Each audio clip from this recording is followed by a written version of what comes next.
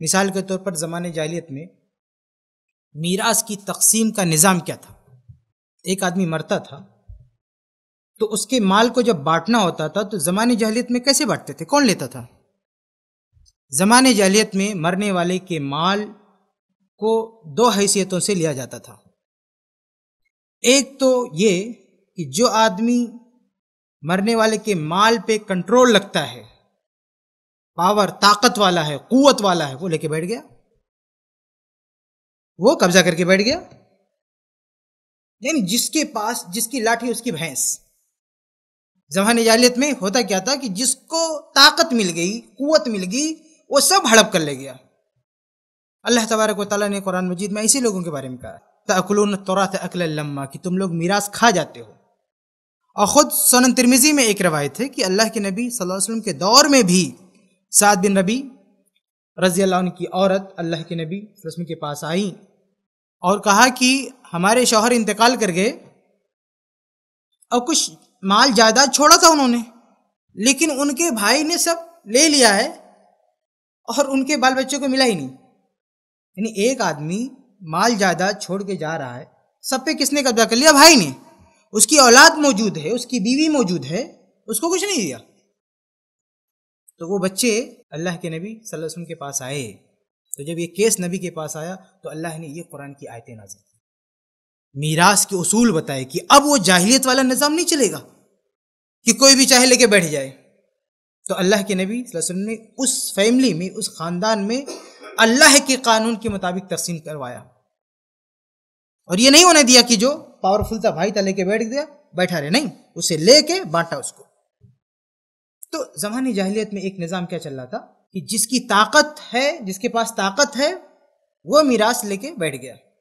और दूसरा दूसरा तरीका क्या था उनके यहाँ? दूसरा तरीका यह था मीरास लेने का कि जिसने मैयत को फ़ायदा पहुँचाया है, वो अपना हक जताता था कि मीरास मुझको मिलनी चाहिए। मिसाल के तौर पर लड़ाई होती थी उस वक्त कबीलों में तो लड़ते हुए कोई शख्स उसका साथी था। तो अब ये आदमी अगर मर गया तो जो इसकी मदद करने वाला था ना इसकी ज़िंदगी में, वो उसके मरने के बाद खड़ा हो जाता है, इसका माल मुझको मिलना चाहिए, क्योंकि मैं इसका हलीफ था, मैं इसका मददगार था, मैं इसके दुख दर्द में इसका साथ देता था, इसलिए इसका माल मुझको मिलना चाहिए, इसके दूसरे किसी भी करीबी को नहीं मिलना चाहिए। ये दूसरा सिस्टम था ज़माने जाहिलियत में। जैसा कि बात तफसीरी कुतुब में ये तसरीहत मौजूद है। ये जो ज़माने जाहिलियत में दो निज़ाम चल रहा था कि जिसकी ताकत हो, जिसके पास ताकत होती थी, वो लेके बैठ जाता था, या जिसने मैयत को फ़ायदा पहुँचाया है, वो उसका माल लेके बैठ जाता था। आज, इस दौर में, हम अपने दौर में बिल्कुल यही दोनों, इसी दोनों बुनियाद पर मीरास पे कब्जा करते हैं।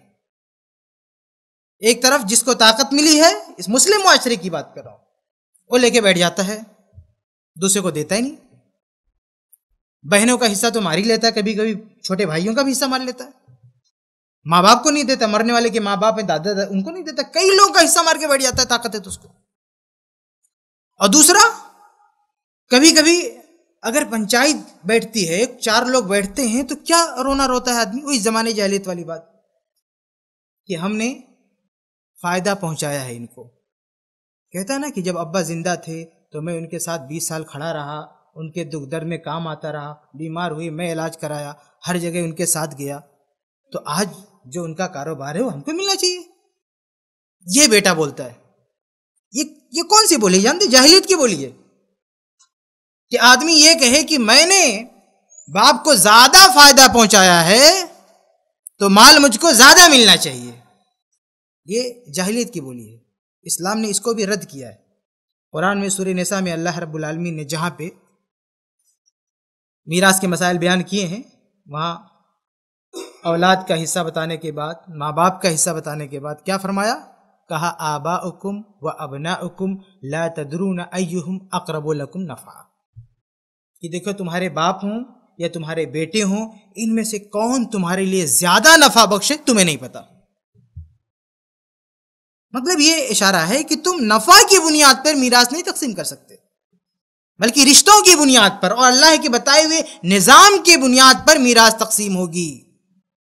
और सूरत हाल चाहे इस तरह हो कि एक बेटा अपने बाप के साथ चालीस साल खड़ा रहा, चालीस साल उसकी खिदमत करता रहा और चालीस साल के बाद बाप वफात पा गया और वफात होने के बाद उस बाप की एक और औलाद पैदा होती है। यानी जब बाप ज़िंदा था तो उसकी बीवी हमल से थी। और इससे पहले कि बच्चा पैदा हो, बाप का इंतकाल हो गया। बाप के कफन दफन के बाद उसका बेटा एक और पैदा हो रहा है। तो ये बेटा जिसने अपने बाप की शक्ल नहीं देखी, अपनी बाप के साथ एक कदम भी नहीं चला, इस बेटे को कितना मिलेगा? और वो बेटा जो चालीस साल बाप के साथ खड़ा था, उसको कितना मिलेगा? इस्लामी निज़ाम के मुताबिक दोनों को बराबर मिलेगा। ये जाहिलियत की बोली है कि हमने बाप को ज़्यादा फ़ायदा पहुँचाया तो हम ज़्यादा लेंगे। नहीं, इस्लाम में दोनों का बराबर हिस्सा होगा। जो चालीस साल बाद पैदा हुआ, बाप को देखा तक नहीं, उसको भी उतना ही मिलेगा जितना चालीस साल बड़े बेटे को मिलेगा। अगर ऐसी कोई शक्ल सूरत हो तो। बहरहाल आगे मैं तफसील से बताऊँगा कि यह भी एक ढकोसला है। कि हमने बाप को बहुत फ़ायदा पहुँचा, हालाँकि फ़ायदा भी नहीं पहुंचाता। मैं आगे वजात करूँगा। कहने का मतलब ये कि इस इल्म से हमारा रिश्ता कटने की वजह से सूरत हाल सिर्फ़ यही नहीं है कि हम जाहिलियत वाला अमल कर रहे हैं, बल्कि जाहिलियत वाला डायलॉग भी बोल रहे हैं।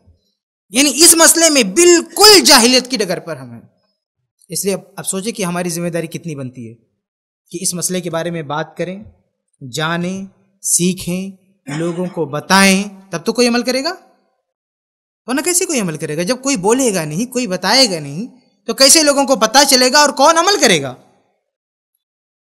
अफसोस की बात यह कि बाज हजरात से पूछो। मैंने खुद कई लोगों से पूछा कि आपकी उम्र कितनी है? तो किसी ने कहा अड़तालीस साल, किसी ने कहा पचास साल। मैंने ये पूछा कि इस पचास साल की उम्र में विरासत के मौजू पर आपने कितना खुतबा सुना है? और विरासत के मौजू पर आपने कितनी तकरीर सुनी है? तो अफसोस की बात है कि वो कहता है कि एक भी नहीं। पचास साल की ज़िंदगी गुजर गई और इस मौजू पर एक खुतबा नहीं सुना, एक तकरीर नहीं सुनी। तो अब बताइए कि जब सुनेगा नहीं, जानेगा नहीं, कैसे अमल करेगा?